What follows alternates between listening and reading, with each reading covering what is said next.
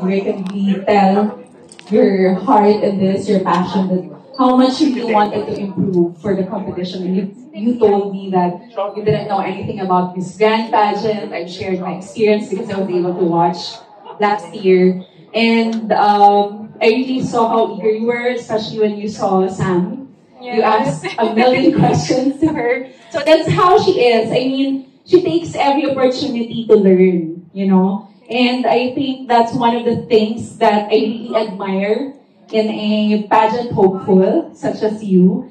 And I know how hungry the Philippines is. Kahit na ang dami yung sinasabi on the side.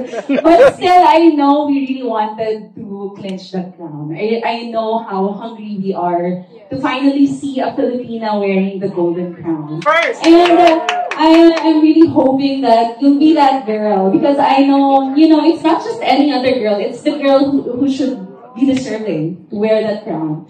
And even if you're young, if ever that's, that will be given to you, I know that, um, I hope that you will embrace the, it's going to be a tough road. You know, it's not just winning the crown. It's the obligation after that. So if you ever win the crown, please make us proud. Please um, work harder and you know that the Philippines will rally behind you. All the people, Harley and the, everyone who supported you will rally behind you. And I hope that we'll be able to watch you live. Yeah. Hey, MJ!